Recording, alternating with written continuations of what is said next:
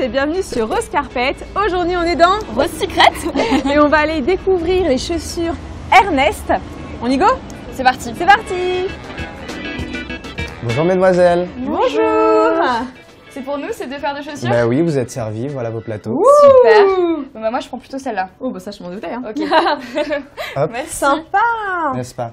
Alors Walid, maintenant que tu nous as trouvé des super paires, bon même si je t'avoue que moi c'est peut-être pas trop mon style pour Ouais. commencer, mais elles sont très jolies. Euh, qui est Ernest exactement? Ernest au départ, Ernest Amsel en 1904 avait un magasin en fait où il revendait des, des marques. D'accord. Il revendait les, les marques de galerie, des, des gr- des très grandes marques. Des bourgeois sont venus le voir pour porter des talons très hauts du 14. Et on a vu. Sachant qu'à l'époque c'était assez tabou, c'était plutôt réservé aux prostituées, aux voilà, D'accord. aux personnes frivoles, disons.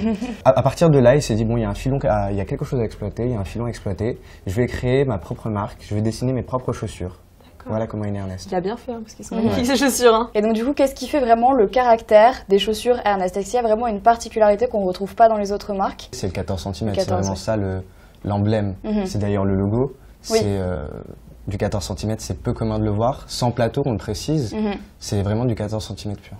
D'ailleurs, euh, n'hésitez pas à nous dire, vous, euh, quelle euh, taille vous portez en talons, parce que c'est toujours intéressant de savoir Ouais. ce que les filles, Mhm. elles portent. Et moi, j'ai une question, parce que là, on est quand même au Festival de Cannes. Ouais. Est-ce qu'il y a des stars je, je sais que j'ai vu qu'il y avait Kylie Minogue qui portait euh, des modèles magnifiques que j'ai vu tout à l'heure. Ouais. Euh, Est-ce qu'il y a d'autres grandes stars euh, qui portent euh, Bah, on a eu la chance euh, que Rihanna porte nos chaussures. Ah oui, quand même. Quand même Bon, Rihanna, t'as- oui. T'as déjà évoqué Kylie Minogue, Oui. etc. Et après, on a la chance aussi. de faire euh, plein de couvertures de, de grands magazines, Grazia, Vogue. Est-ce que vous avez des conseils pour marcher avec le 14 cm Parce que je sais pas toi, Ami, mais moi j'ai l'habitude euh, du 8, du 10, du 12 parfois. Moi, j'avoue j'ai essayé bon. le 14 et j'ai du mal à tenir dessus en Ouais. fait. Oui, Donc, euh, est-ce qu'il y a des conseils? J'ai entendu dire qu'il y avait des, des cours en fait à Paris pour apprendre à marcher avec le 14. Donc, Oui. comment ça se passe? On a lancé avec, euh, enfin ce que la patronne a lancé, Madame Isabelle Bordier, Mhm. c'est les ateliers Ernest, donc un atelier où elle et euh, le Ernest Boy, qui travaille à Paris, montrent comment une femme doit se tenir en talons,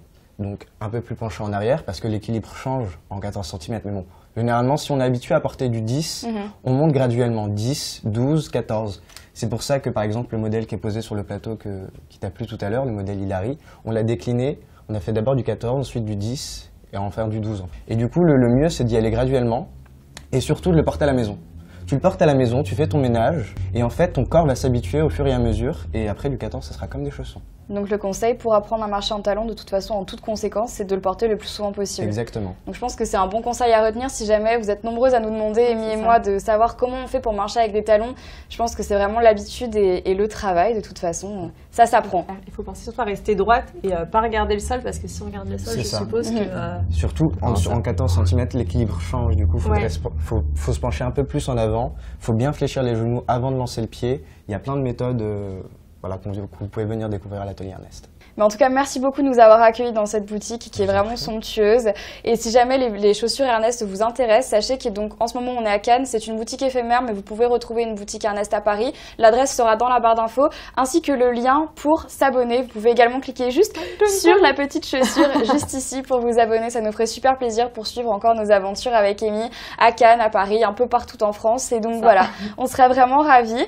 Et puis c'est tout. Qu'est-ce que t'en bah, penses? ouais. On vous fait des gros, gros, gros, gros On vous embrasse très fort. On vous dit à très, très vite. Salut. Ciao, ciao